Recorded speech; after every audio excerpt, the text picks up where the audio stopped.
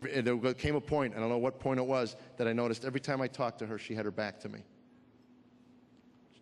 And I walked over to her one night and I grabbed her by the shoulders and I tried to turn her around and she said, No, please.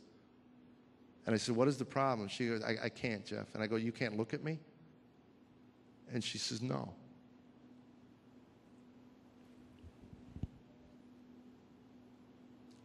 How do you get there?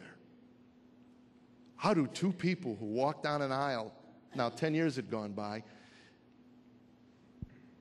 you can't look at me? And she says, All I see is all this stuff, all the stuff that we talked about that was going to be, and it's not going to be. And she says, It's just, I can't do it anymore. Let's just cut it. Please fill those papers out and let's just cut it. She tells me 10 minutes from filing those papers, and that was 12 years ago. 10 minutes from filing those papers. Uh, my wife says, um, pull the car over.